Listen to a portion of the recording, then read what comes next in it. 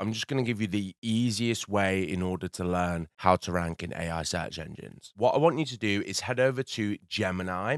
Then I'm going to want you to go to 1.5 Pro with Deep Research. And essentially, what this is, this is a research assistant that will conduct research across hundreds of web pages to give you the response. And what I want you to do in here is type in whatever search term or topic that you want to rank in. So, for example, let's say you were a SEO agency in London and you wanted to rank for best SEO agency in London. When you actually enter this in deep research, deep research is actually going to show you how it's going to find these best SEO agencies. As you can see here, it's basically a research plan and it's going to show you exactly what it's going to do. So, this is going to literally tell you how it finds the information that a user is looking for, which you can then reverse engineer so you can then rank in AI search engines.